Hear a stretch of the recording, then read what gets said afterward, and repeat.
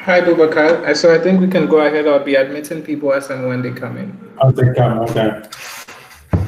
Good. Um, maybe we should give one minute. Maybe my clock is not, my computer's time is not correct. It says one minute for, it's already on my phone. Okay.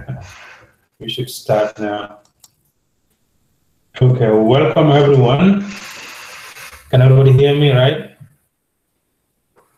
Um, welcome to our maiden seminar of uh, AIMS, and we call it the AIMS Virtual Research Seminar. And we are happy to have uh, Dr. Nya to give the first talk. Um, so we would we plan to make this uh, a monthly one, and we are all forced by COVID-19 to be innovative in terms of how to keep up on, on workshops and conferences. So I thank uh, the committee members. Unfortunately, I haven't seen many of them here yet.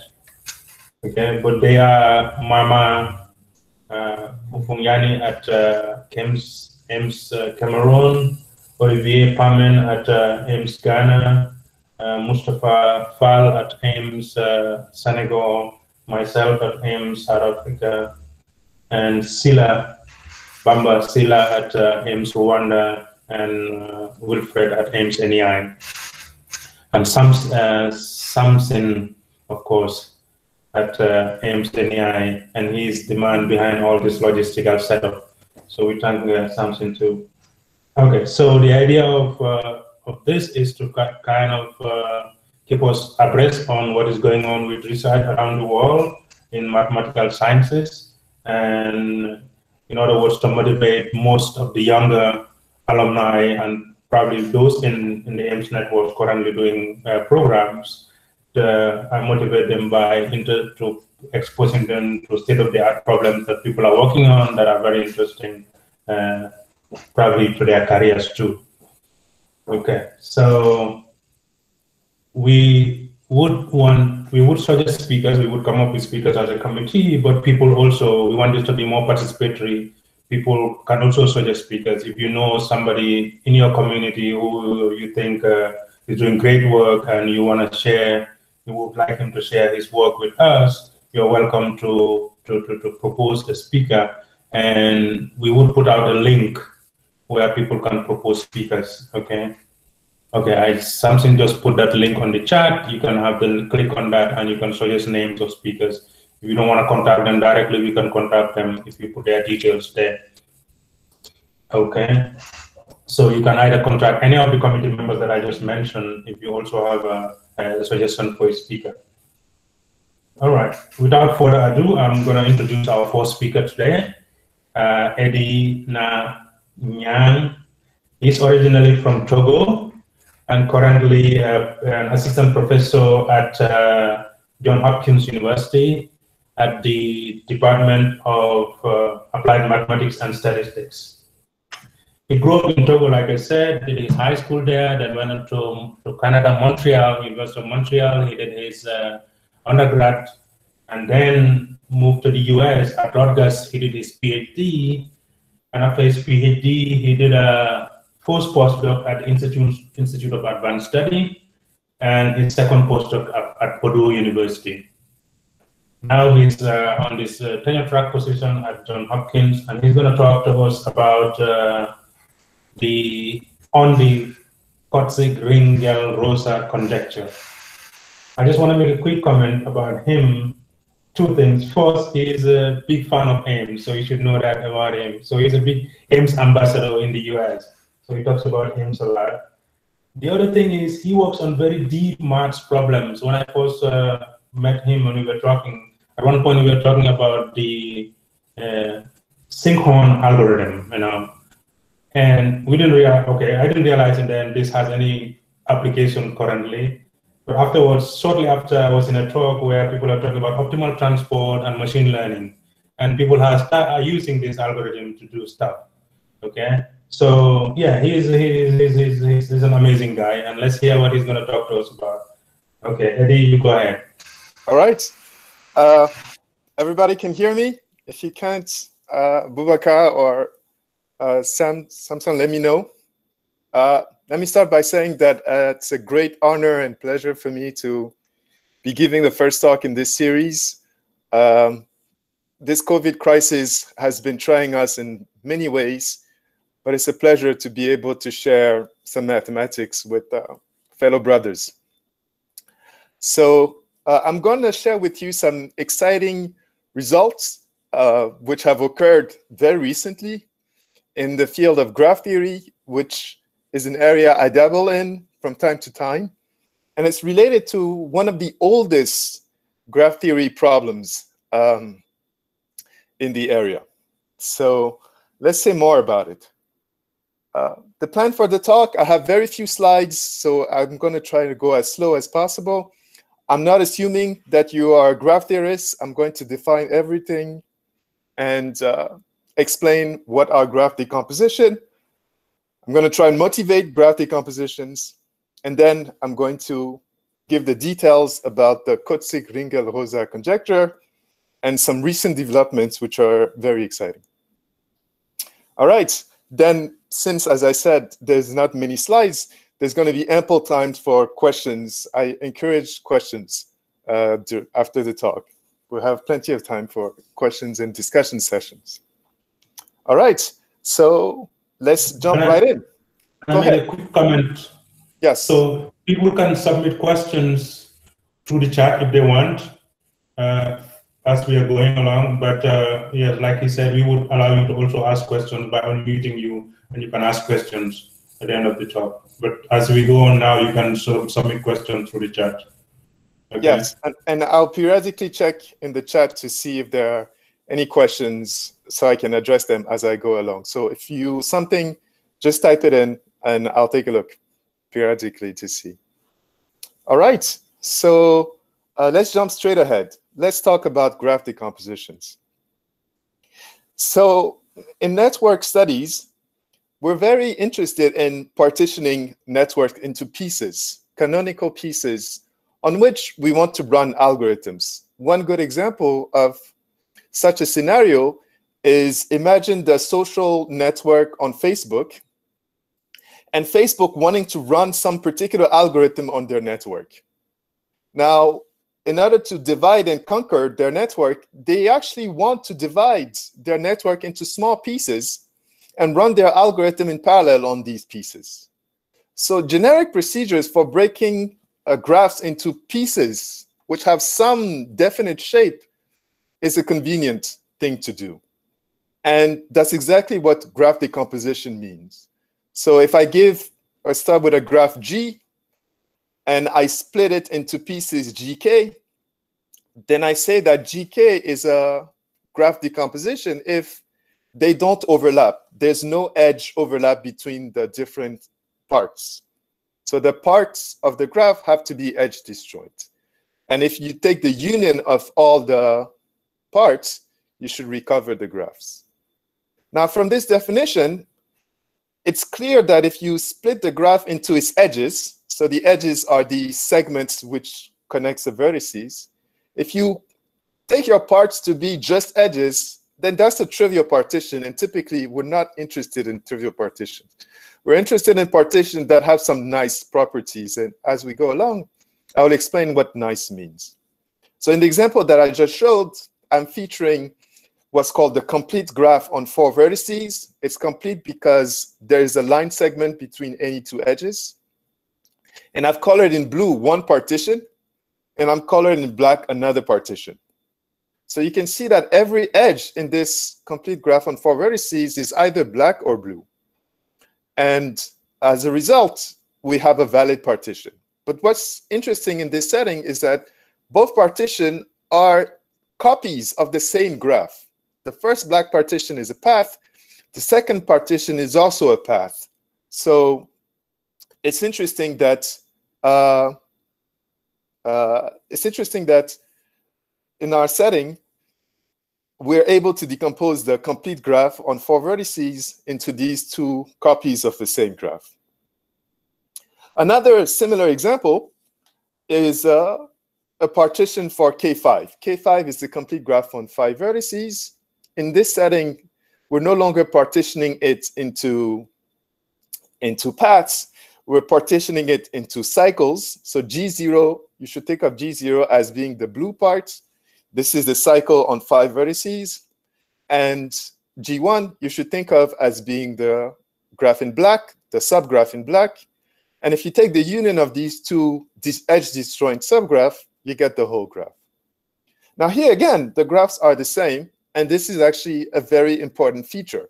You want to be able to say that you sort of have partitioned your graph into parts which are equal size and have the same graph theoretical properties. And this is a recurring theme. And the question we want to ask is, can we always do something of this sort? Now, this conjecture was raised at the first ever graph theory conference in 1964. 1964, Ringel and others had a list of problems. And Ringel suggested that this partition can basically always be done uh, in terms of a tree. Now, in computer science, we love trees because trees are graphs that are very easy to understand and they are very easy to recurse on. So if you can partition a very complicated network into disjoint copies of trees, then you have a very good algorithm for proceeding to a divide and conquer step. So exactly this year, in 2020, this conjecture was raised since 1964. It's one of the oldest conjecture. Exactly this year, early on, right before the COVID crisis hit, uh, two groups uh, independently suggested a proof of this conjecture. So they were a, a few months apart, they posted on arXiv the first outstanding proof of the conjecture, and it was a major tour de force. They pushed the methods that we know in graph theory, uh, probabilistic method, to the extreme. And what they showed is that if you start with any tree on n vertices, as the one illustrated on the left, you can use that tree as a template to decompose another, uh, the complete graph on two n minus one vertices. And what they showed is that not only can you do this decomposition, but the decomposition can always be done in such a way that it's cyclic, which means you can rotate that tree around and cover all the other edges. So in the drawing that I just displayed, if you rotate clockwise or counterclockwise, red edges cover all the red edges in the complete graph. Green edges are going to move outside the polygon, so to speak and the blue edges move along. So this sort of decomposition is actually much more than what Ringel was hoping for. Ringel was just hoping for a decomposition. And what they, were able to show is that a strongest claim holds, which is known as the Ringel-Kotzig conjecture, which says you can decompose the complete graph in such a way that it's cyclic. You can rotate around. So this was an ascending result. However, when the problem was first raised, uh, there was a stronger conjecture that was even made.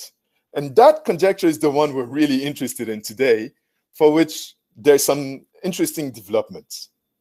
So the stronger conjecture was made by Rosa. And that stronger conjecture is called the Kotzig-Ringel-Rosa conjecture. The Kotzig-Ringel-Rosa conjecture says that not only can you decompose the complete graph into copies of a trees, but you can decompose it in such a way that the vertices are consecutive. And to understand this, it's important to go back to what we had before. If you look at the particular decomposition that we have here, it involved vertices three, four, five, six, and then we skip vertex seven and vertex eight and use the vertex labeled zero. So we have not used consecutive vertices along the polygon. We've sort of allowed ourselves to skip some vertices. And in the proof that have been proposed this year, it's sort of hard to constrain the argument to use consecutive vertices. Now, the Rosa conjecture suggests that you can actually do it using consecutive vertices. Now, why is that interesting?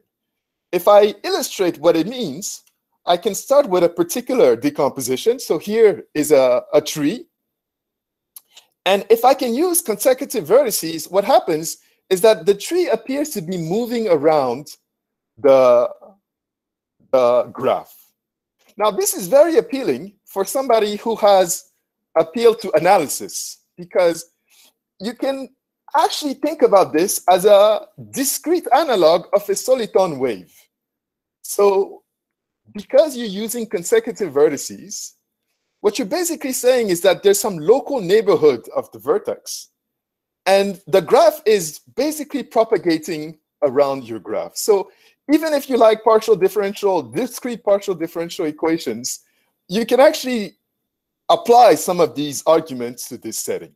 And this is sort of the inspiration for the approach that I'm going to describe. So the Ringel-Rosa conjecture is much harder.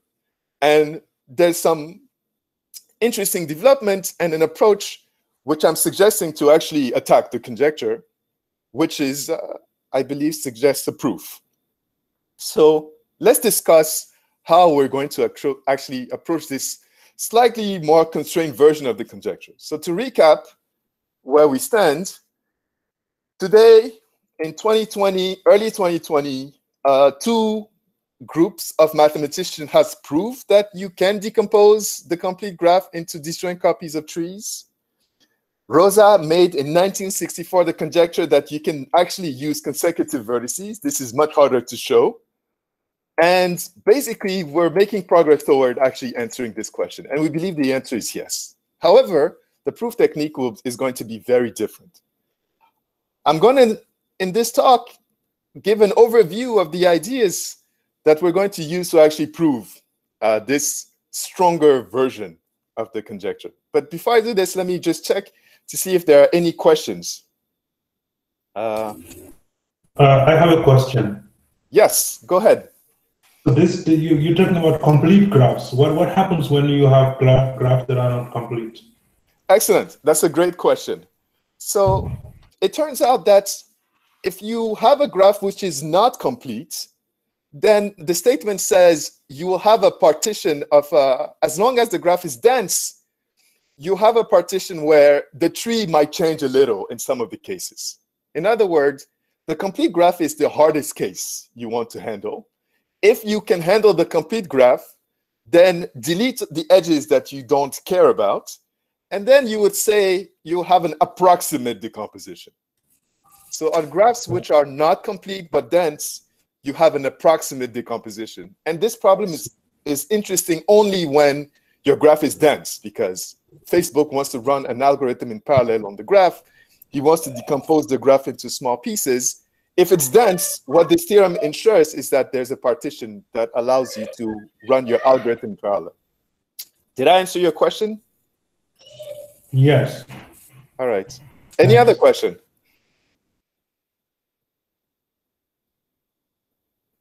All right. Uh, I welcome questions. I will stop periodically to give a chance to ask questions.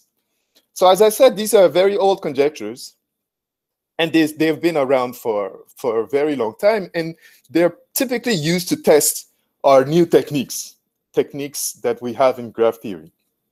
And they've resisted a lot of the tools that we have up until now. And very recently, we are making headway on these very hard problems. All right, so as I said, the approach that I suggest to attack the Ringel-Rosa conjecture is very different from the approach that was proposed in the, in the recent papers, which uh, have been uh, posted on arXiv early this year. What appeals to me about the problem is the connection with uh, partial differential equations, wave propagation in media.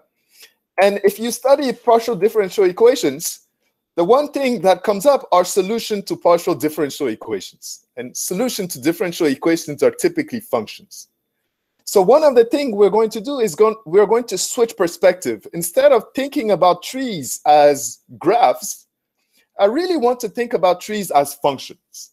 And I want to explain what this means. So what does it mean to be thinking about a tree as a function? I want to illustrate what happened in the very specific setting of this blue tree here. So you can see that zero is has an edge with one. There's an edge between one and, and 10. I mean, in this setting, let me, uh, sorry. let me take the graph which has the smallest. So we see that we have vertices connecting uh, six consecutive vertices, starting from zero all the way up to five. And if I look at the graph that I have at the end here, I'm connecting five, six vertices as well. It's the exact same graph. Now, to convert a tree into a function, what you do is you place a loop edge anywhere on that tree. It doesn't matter where you place the loop edge. For convenience, I've chosen to place the loop edge at the vertex which is labeled zero. And GF is the list of all the edges of the graph. Once you've placed the loop edge, you treat the loop edge as if it was a fixed point for a function. Therefore, the function at zero outputs the number zero. And you treat, you orient all the other edges of the graph so that they are pointing towards the loop, the fixed point. So the edge 1, 2, for example, is pointing towards 0 because every vertex, every edge is trying to point towards the so-called fixed point. Once you do this, every vertex has out degree exactly one edge coming out, and this defines a function it's interesting to observe that every rooted tree describe a distinct function. And in this particular case, I'm describing a function which has the property that f of 0 is 0, f of 1 is 2, f of 2 is 0, f of 3 is 0, f of 4 is 0, and f of 5 is 0. So every time you give me a tree, I can pick uh, a loop, a fixed point, put a loop edge over there and uh, orient all the edges to point towards the fixed point. And this allows me to convert trees into functions. And again, I said I'm inspired by what's happening in partial differential equations. So solutions for me are functions. And you can turn every tree into a function. Let me pause here to make sure uh, there are any questions, uh, because this is a crucial part of the argument. Any questions so far? All right. If there are no questions, let's move on to the next step. So what do we do once we have this function? It turns out that the Kotzig-Rosa showed that the conjecture, the decomposition that we seek, this decomposition with the wave, discrete wave propagating along the cycle, exists if and only if we can relabel these so-called functions such that the absolute difference along every edge is a distinct number. And this is a very important fact. So let's actually look at what we mean. So for every edge, you should think about vertices as cities. Let's say cities uh, somewhere in Ghana. That's a good example. And you should think about the, the edges as road segments. What you want to do is assign names to the road segments. And the way you assign names to the road segment is by taking the absolute value of the difference of the endpoints. So the road segment between one and two is going to be called road number one because the absolute value between two and one is one. The road segment between two and zero, I'm going to call it road number two because the absolute value difference between 2 and 0 is 2. If I look at the roads that span 0 and 4, I'm going to call it road number 4 because the absolute difference between 0 and 4 is 4. So this scheme of naming roads by taking the absolute difference of the endpoints uh, is was proposed by Rosa. That's why it's called the Rosa's conjecture, the Kotzig-Ringel-Rosa's conjecture. And if every street has a distinct name, the labeling is called graceful. So Rosa showed that the decomposition that we seek exists if and only if there's a way of naming the cities, giving numbers to the cities, such a way that each road has a distinct name. And he showed that if this is true, uh, it buys you the decomposition that you want, a decomposition in terms of consecutive segments. This problem in of itself is extremely appealing. Uh, it's been called a disease because it's very easy to state, but showing that every tree admits uh, graceful labeling is very hard uh, if you just attack it brute force. So let's try and see how we can go about reformulating this in the language of uh, functions. First of all, I have to tell you, formally speaking, what does it mean for a function to, to describe a rooted tree? So a function describes a rooted tree if it has a fixed point. And remember, the fixed point is the loop edge. The other condition is that it has to be connected. And the way you describe that a function is connected, you say that the fixed point has to be attractive over the whole domain. Every, every point that you start from, if you apply the function to the points, you eventually reach the fixed point. So for example, if you start at vertex 1 and you apply the function once, you go to 2. If you apply the function twice, you go to 0. If you apply the function again, you stay at 0. So the condition that I just written here says if you apply the function n minus 1 time, where n is the number of vertices, to any point in the domain, you have to reach the fixed point. That's basically what the condition says. So Rooted trees are functions which have a fixed point, which is attractive over the whole domain. And this actually comes up in the so-called uh, Banach contraction mapping theorem. You should, you should think the perfect setup for these are functions which satisfy the so-called Banach contraction mapping. These are a very good example. Now, what is the Kotzig-Ringel-Rosa conjecture, this naming street convention? What is it saying? Well, the way we can write it formally is as follows. If you give me a function which has a unique attractive fixed point and attractive over the whole domain, it is a solution to our decomposition problem if the maximum number of street names is equal to the number of vertices. That's basically what this condition at the bottom of the equation says. Now, this switch in perspective from graph theory to discussing properties of functions is not a commonly used approach. This is the contribution that we're suggesting for studying this theorem. We started from a graph theory problem. It's very hard to solve if you try pure graph theoretical methods. But if you study analysis and insight coming from differential equations, it actually suggests ideas for approaching the problem.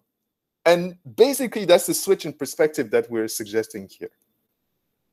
So how do we prove this claim? How do we prove that every time that you have a function with a unique attractive fixed points, the maximum over the absolute differences over all ways of relabeling the graph is going to be n. So before I jump into discussing sketch for the proof, let me pause to see if there are any questions uh, so far. Any questions? All right. Uh, no question. Hopefully everybody can hear me. Let me make sure. Uh, can everybody hear me? okay, all right. Okay, good. So now let me, once I've changed the setup, let's actually discuss how we're going to prove this statement. We want to prove the statement for all functions which have a unique attractive fixed point. And there's, on n vertices, there n to the power n minus one of them. So that's a lot of functions to consider. However, if you want to prove this claim, it's enough to prove the claim on a subset of these functions. It's enough to prove the claim on functions which have a very special property. The function is such that when you apply it to a vertex i, you always point to a smaller number. In other words, if you follow the edges, you're always decreasing. If we can prove that the theorem holds for this very small subset of functions, then it implies that the statement is true for all the other functions. Now, this subset of functions is a very nice subset of functions. First of all, that subset has size n minus 1 factorial instead of n to the power n minus 1. But what's particularly nice about the, this subset is that it's closed under composition. It forms what we call a semi-group. So ideas from group theory and algebra can help here. So how do we go about doing this? In the very limited time that I have, let me give you the idea for how to prove that this, this statement that we want to show uh, holds. We do this by showing an inequality. Very surprising inequality. I've searched in the literature for similar inequality. I've yet to find one. But this inequality turns out to bias the result we want. Let me parse uh, the inequality, which I call the composition lemma, what it says. It says, remember that the set of functions that we're considering here is closed on the composition. If you compose two functions, you get a new function in the set. So it says if you start with a tree, which is ma made by composing two functions, you start with two rooted trees, a rooted tree built by composing two functions from the sets, the number of labels is always smaller or equal to the number of labels from of the function you started out with. So this is a very innocent looking inequality, but this inequality turns out buys us the theorem. Because if you start with a function which is a tree, by composing that function with the identically zero function, the identically zero function belongs to this set, uh, then we see that the number of labels on the left-hand side is going to be n, and this buys us that the number of labels, edge labels, the street names for f also must be n. So the hard work for proving, using this approach for proving the, the Kotzig-Ringel-Rosa conjecture is to prove this, this inequality. And as I said, this is not the typical way as a graph theorist, this is not the typical way that a graph theorist approaches a problem like this. Uh, but if you like analysis, uh, it seems like a very natural way to proceed. Okay, so how do we prove this inequality? Well, unfortunately, we only prove it by contradiction.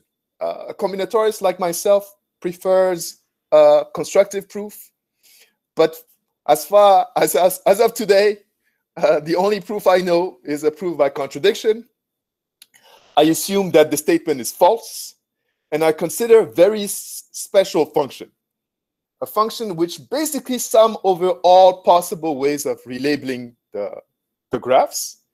And I show that this function actually counts the number of nice labelings. And if I assume that the inequality does not hold, it leads to the contradiction that the number of labelings is the same for both functions. But this contradicts exactly what we had assumed. Therefore, uh, we run into trouble. So if we negate this lemma, we basically run into the contradiction that the function have the same number of nice labelings, and that can't be the case if the inequality here is true. That's basically the bird's eye view of the proof. And the proof uses uh, techniques which are elementary, just algebraic techniques, but uh, very interesting. And I recommend any of you to take a look at the latest version that I posted on arXiv, uh, which should appear later today, actually. Okay, so uh, now some consequences. If you're not a graph theorist and you look at this, you may ask, uh, what does this do for me? It turns out that it actually spells out some limitation of spectral graph theory or spectral methods in general. You can consider the following problem. Suppose I have a matrix A. I can multiply the matrix A on the left by an invertible matrix Q, and I multiply it on the right by the inverse of Q.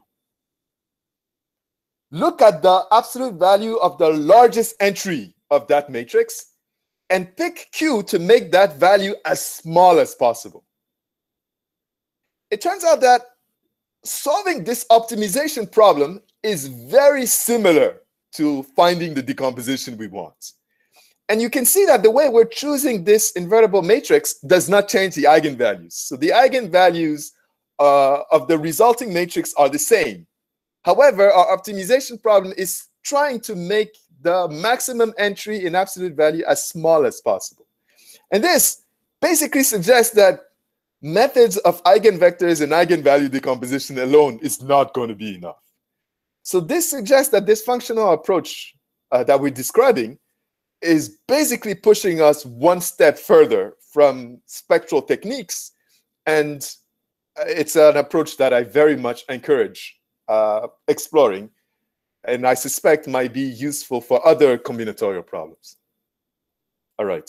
So this basically concludes the brief overview. And for the rest of the talk, I'm eager to answer your questions or hear your comments and uh, basically engage in a conversation uh, amongst ourselves. Thank you.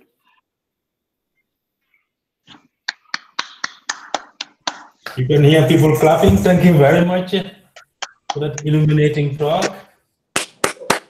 Yeah. Aha. Yes. So I just saw a question posted by question came from Kasso, I think I saw. Yes. So so I can I can answer Kasso's question. So uh, where's the matrix A coming from? That's a very good question. You should think about A as the adjacency matrix, as the adjacency matrix of the complete graph.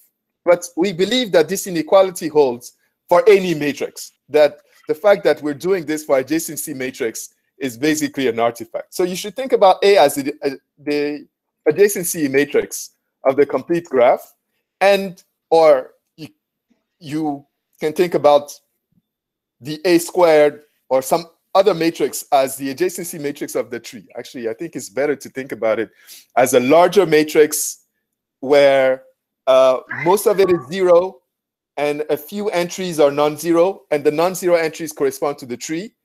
And the conjugation multiplying on the left and multiplying on the right by q and q inverse really is the equivalent to moving the tree around. So it's a unitary transformation uh, acting on both sides now the transformation is going to preserve the eigenvalues definitely but what we want is the edges not to overlap so this condition that the maximum entry should be as small as possible is equivalent as to saying, I never want two edges to, to collide.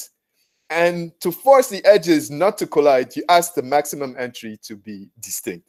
And that's really where this condition is coming from. So it's saying, if you are allowed to rotate around, conjugate your matrix, how much can you spear, smear the maximum entry around your, your graph?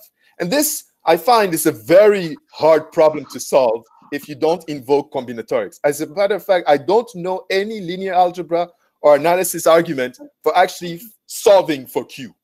And it's a problem I'm very much interested. The only example that I know how to solve for this quantity, the infimum, the smallest uh, you can get the maximum entry to be, which is basically smearing around the maximum entry by conjugation, uh, I don't know how to solve it without using combinatorics.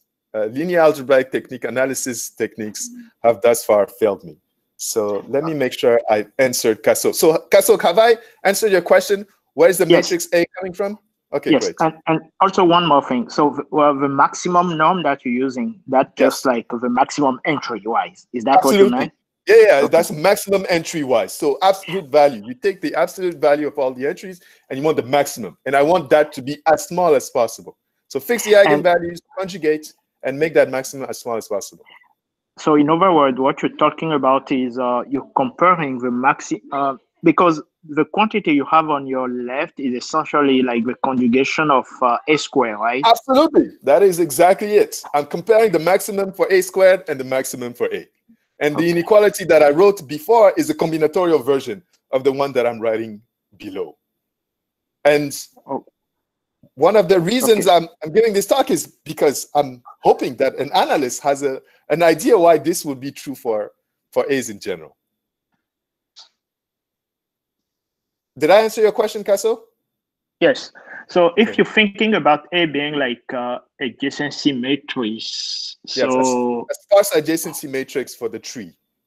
So you have a matrix of size in the in our problem. It's a two n by two n minus one by two n minus one matrix, which only has n non-zero entries, and all these non-zero entries are equal to one.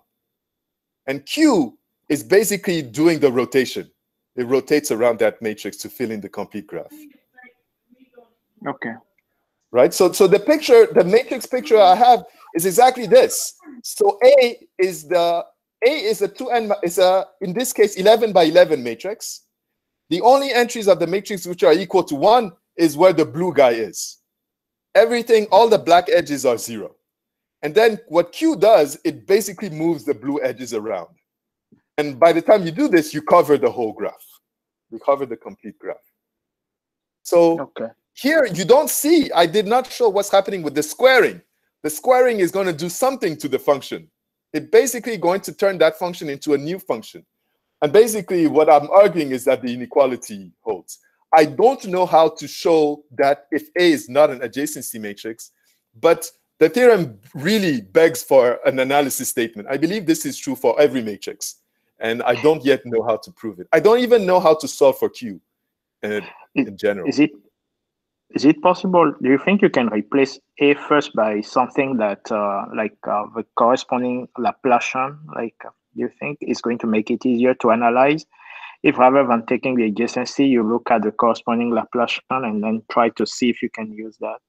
So Laplacian definitely comes up in the proof of the argument. I don't see how Laplacian would help, but you can replace A by the Laplacian because the Laplacian basically amounts to subtracting A by a diagonal matrix. So you're changing A by A minus diag, the diagonal matrix of degrees, and it doesn't change much for the problem. Okay. Absolutely. Basically, subtracting the identity doesn't change much to the problem because the identity is fixed by conjugation. So Okay. I see you. Yep. it doesn't Okay. change much. Absolutely. Interesting question. Thank you. Uh, you're welcome. Any other question? So there's another question I see from Joseph who says, taking a partial differential equation, weak solution to the classical, uh, would it work here? Uh, That's an awesome question. So first of all, I should say as a disclaimer that I am not uh, a PDE or an analyst.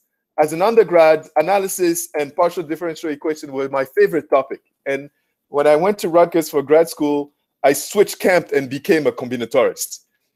What appealed to me in the problem, as I said, is the fact that when n goes to infinity, when n becomes really, really large, it really looks like a wave propagating in the graph. And my when I approached the problem, I said, well, if we think about it as a discrete differential equation, uh, what does it tell us? Well, I wasn't able to just use differential equation to get the solution, but the differential equation way of thinking about solution is really what led me to think about trees as functions. So uh, does taking partial differential equation uh, give me weak classical solution? I don't know the answer. The partial differential equation way of looking at wave propagation in discrete media what is, is what inspired this approach to the problem. But I don't know that if you uh, if you're a classical PD guy, whether you could actually prove the inequality I need uh, using it. In other words, I don't know how to use partial differential equation to prove an inequality like this, uh, the last inequality uh, of the of the slides. And if you, if you knew, if I knew how to prove this, then the theorem is trivial. It, it, it automatically follows from this, this statement. So I suspect there might be a functional analysis approach to getting inequality of this type, but uh, hopefully with this confinement periods, we'll find it. Any other question?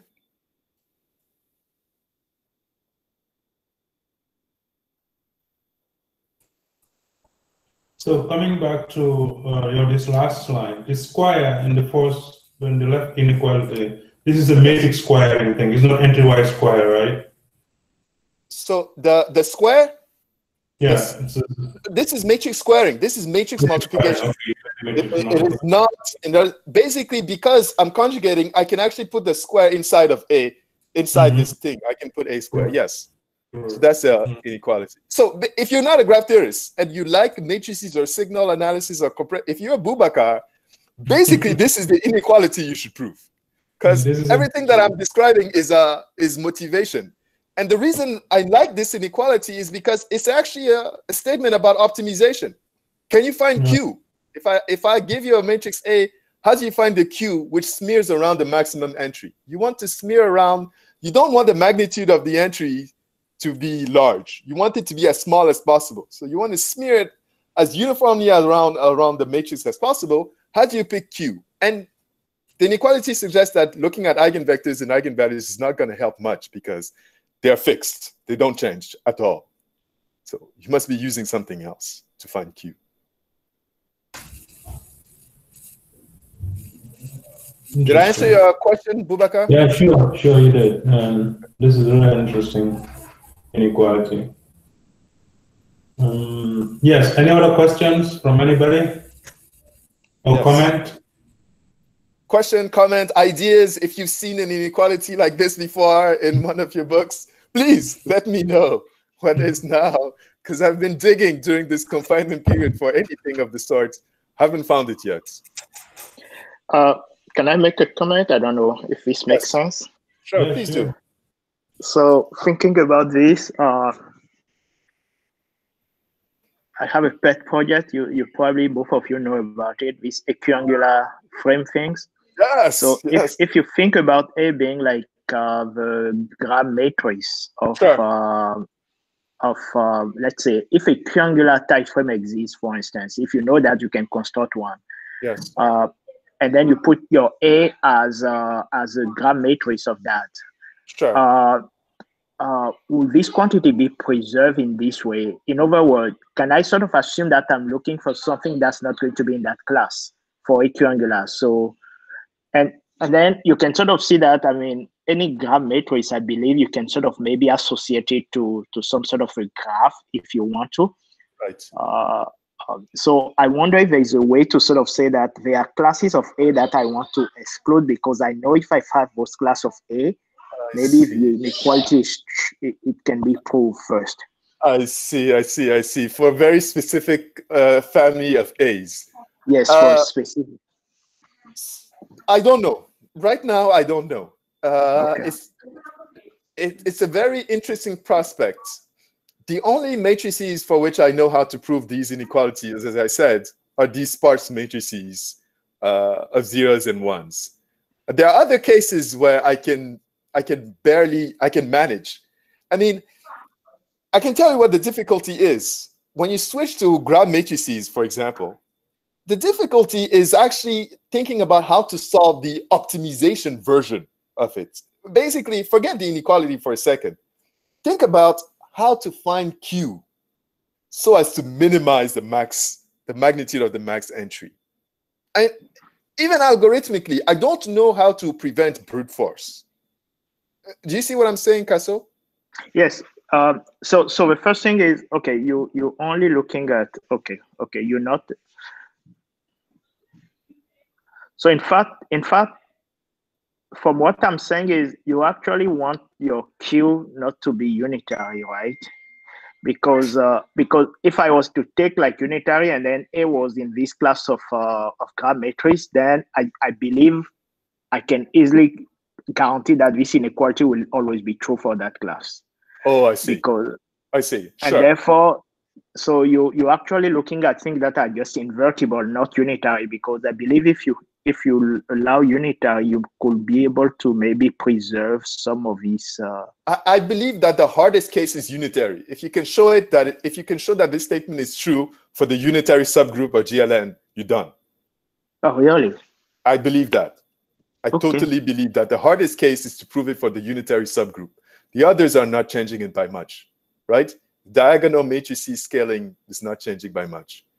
Okay so so i also believe then if what you're saying is true then if you assume that you're in this class of gramian matrix of and the gramian matrix come from let's say unit num vector Yes, then this inequality is true I see. on or uh, assuming that you're only looking at the subclass of uh, of these Gramian uh, matrices, of this Gramian, but also when Q is restricted to be unitary. The unitary case. I Yes. see. I see. I see. So we should totally I'm- talk then about Yes, how I'm to, not sure how to go about to sort of uh, go from uh, non-Gramian to a general case. I'm also not sure how to actually establish like uh, uh, find what Q will be optimal. Yeah, yeah, know? sure. No, So no. that those are two, these are different questions. any class of matrices, any class of matrices additional to the one I have is progress. So if you know a class of matrices for which I can prove this inequality, that's great because that's more let's more- talk. Let's talk, and then maybe I can. I mean, maybe I'm wrong, but I feel like uh, sure, sure, this sure, be- sure. We we should definitely work it out. And this is one of the benefits of giving an AIMS seminar, right? you get you get ideas and collaboration out of it. So I'm really Absolutely. excited about that. Correct. Yes, any other comments or questions? We still have some time. Olivier Pamen, were you able to hear the speaker? He was complaining about not being Oh. able to hear you. Yes, I was. But yes, I was. Thank you. Okay, okay, great. Thanks. Otherwise, I was ready to start again. So, uh, uh, Edinah, something maybe strange. So, does it look like a kind of reverse Holder inequality what you're trying to prove for matrices? Uh, Can you repeat your question again? Is I didn't. like a type of reverse uh, Holder inequality because you have a square on the left and nothing on the right, which is a Oh yeah, power. yeah. You, I didn't think of it that way, but you could. You could. You could view it that way. Yes, like a Yeah, reverse. and I um, don't think that in the Holder inequality you have the infimum. Do No, you? I'm just saying, uh, you you take a kind of norm and then maybe, uh, uh, yeah, it looks like a norm in a square on the left and then the other on the right. So it's like you're taking a norm in those matrices. That's what. Right. Right. Right. Right. Yeah. Yeah. Sure. Sure. Sure. Sure. Um, but So- you, you don't have any, uh, for example, if you had a, a constant c, what what will happen? Ah. a constant in front would it not make it nice or easier? I don't know if it makes it, or maybe you're normalizing. so so so i think that the the constants in other words if you if i want to look at the constant version Mhm. basically what the constant factor would be it would be to just focus on the right hand side of the inequality let's say forget about this a a square Mhm. let me focus on the right hand side and basically try to lower bound or upper bound this quantity how Mhm. small can that thing be and i think you can express this as the ratio of l2 norm of a by divided by square root of n times some constant Mhm. so you can make progress that way but i don't know how to get that actual number exactly a tight bound for, for Because this the, the, question is, um, is one the sharpest constant that you have? I don't know because uh, you may you may have something maybe uh, bigger, uh, which is not yeah some bigger sure means that you have a very sharp constant that you know already. But uh, sure sure know, sure Just uh, thinking. um, yeah that's a good idea. That's a good to relax it a little bit by yeah, allowing relax, for you put maybe we'll put a constant and then see how sharp you can get to that constant. sure this is sure. what I because it's already very um, unnatural to have this kind of uh, uh, bound because I mean it will be it, it, one would think that the left to having the left the left uh, the right on the left and the left on the right will be the oh i see. it, it feels natural to switch the inequality. Switch the i see. yes but uh, i see i see i see i see. I it, see. it reminds me of uh, of um, uh, reverse holder. The reverse holder. I'll look it up. I'll look it up. Thanks for sharing. That's Yeah. a that's a very good idea. I'll look it up. Definitely. Thank you. So, so uh, along the same line, I think, okay, Mhm. suppose you can prove this. I mean, I'm trying to push this as much as you can. Suppose you can prove this, right? yes Then is it true that you can replace then a by a square and keep iterating this inequality? that's exactly the idea of the proof Okay. so so you get a statement like this for a 2 to the k or a to the Okay, n okay, absolutely okay, that's okay. exactly Uh, the whole point of the composition lemma is to do this and you Okay. understand very well the limit of the powers of Okay. a Okay. Okay. yeah I that's you. that's exactly the idea Okay. is to iterate this this is the simplest case if you have this you have the iterative version Mhm. yeah absolutely you you have the intuition So, so you're looking at the uh, if you're looking at the iterated version, you're looking at the limit then. Uh, yes because- so so basically you have a square you have a to the power 4 so you you can actually write down the limit a to the 2n uh-huh. and ask how does it compare? And and basically the idea for the proof of the paper is exactly that observation because in the case of trees this sequence converges to the identically constant zero function. And the identically constant zero function has trivially n distinct edge labels. So in the discrete case the iterative argument is key. Not only does it prove the theorem but it actually gives an algorithm for finding the labeling finding the partition So, And did you say you posted the paper already, or is going to be posted tomorrow? so uh, uh, this is a, a very it's a fascinating story. Um, the first draft of the paper was posted uh, 2018, November 2018, and I kept getting feedback, people suggesting revisions to the proof until I converged now to the last version. So Okay. The last version has been posted yesterday, and it will be available on arXiv tonight. Tonight. Okay. T- So tonight you should be able to have the last version. I, there's no more Okay. changes. The proof is as simple as I can get it, and the inequality is there. Unfortunately, it's a proof by contradiction. I'm hoping to see a constructive proof soon Okay. via this inequality. Okay. Awesome. Bubakar, thank you very much for inviting Um, me. It's a great Great, honor. And, and this is a fascinating talk. Uh, we're really honored for you to give this talk. As I said, I'm a, I'm a big fan of AIMS. I know. That's what I said at the beginning. Like, this is our AIMS ambassador in Baltimore, USA. But uh, Mama, you want to say something? Mama is here. Also, one No, just to say, uh, to say hello. Hi, Mama. It's an honor to meet you. Yes, really, I enjoyed the talk. I came some minutes late because I got a wrong link, but finally see. I, enjoy it, and I'm really happy that uh, now the we have started and we should keep on going. Agreed. Agreed. Yes, Thank you well, for coming. Well done. I think Mustafa um, Baka is now in the position to announce the second talk. Excellent. Excellent. Yeah. We're excited. We have somebody for the second talk, and that is uh, Professor Walter from the University of Leuven. Excellent. He's Excellent. going to give the second talk on the 5th of August. And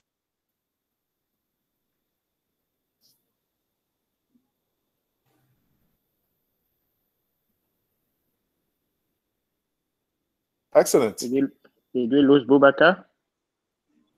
Uh, we lost, I'm not hearing Bubaka. I think maybe he got. oh, yes. So, so, hello, did you hear me? Yes, we can hear you now. Yeah, yeah. So what I was saying is we have, uh, I have received an email from uh, Mama confirming our next speaker. This Awesome. is Professor Walter from uh, University of Leuven, and he's going to talk about orthogonal polynomials and random matrices. Hmm, interesting. Okay, he may have a question, yeah, like an answer to your problem, maybe. Uh, Uh, maybe. Absolutely. I'll, I'll, I'll be sure to be there. I'll be sure. okay, great. sure Yeah, and there. Has volunteered to give the third talk. This would be in September. So yeah, we already have great speakers lined up. Awesome. Yeah. Thank you. Thank you very much. I look Thank forward you. to Pleasure, this. and thanks everybody for being here. Uh, I think if you don't have any more further questions or comments, we would just end now. Okay. Okay, uh, Bu- Bubakar, uh, Edinah, I'll, I'll, I'll get in touch with you guys. Uh, Excellent. Okay. Excellent. We need Thanks again. All right. Thank you guys for coming. It was a great Thank you. pleasure Bye, and honor. everyone. It's a pleasure. Thanks. Bye. Thank you. Bye Thank bye. you. Bye bye. Bye. Bye bye. Bye bye.